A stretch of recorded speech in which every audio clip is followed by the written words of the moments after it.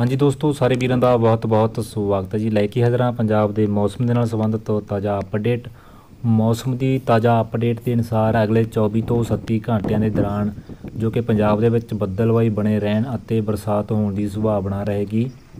ਅਗਲੇ 24 ਤੋਂ 37 ਘੰਟਿਆਂ ਦੇ ਦੌਰਾਨ ਪੰਜਾਬ ਦੇ ਜਿਹੜੇ ਹਿੱਸਿਆਂ ਵਿੱਚ ਬਰਸਾਤ ਹੋਣ ਦੀ ਸੰਭਾਵਨਾ ਜ਼ਿਆਦਾ ਰਹੇਗੀ। ਉਹਨਾਂ ਦੇ ਵਿੱਚ ਸ੍ਰੀ ਮੁਕਤਸਰ ਸਾਹਿਬ, ਸੰਗਰੂਰ, ਬਰਨਾਲਾ ਮਾਨਸਾ, ਫਰੀਦਕੋਟ, ਪਟਿਆਲਾ ਅਤੇ ਮਲੋਟ, ਆ ਤੋਂ ਇਲਾਵਾ ਹਰਿਆਣਾ ਦੇ ਜਿਵੇਂ ਕਿ ਕਰਨਾਲ, ਅੰਬਾਲਾ, ਪੰਚਕੂਲਾ, ਹਿਸਾਰ, ਰੋਹਤਕ ਆਦਿ ਹਿੱਸਿਆਂ ਵਿੱਚ ਜੋ ਕਿ ਅਗਲੇ 24 ਤੋਂ 37 ਘੰਟਿਆਂ ਦੇ ਦੌਰਾਨ ਬਰਸਾਤ ਹੋਣ ਦੀ ਸੰਭਾਵਨਾ ਵਧੇਰੇ ਰਹੇਗੀ ਜਦਕਿ ਪੰਜਾਬ ਦੇ ਬਾਕੀ ਹਿੱਸਿਆਂ ਵਿੱਚ ਬਰਸਾਤ ਦੀ ਸੰਭਾਵਨਾ ਘੱਟ ਰਹੇਗੀ।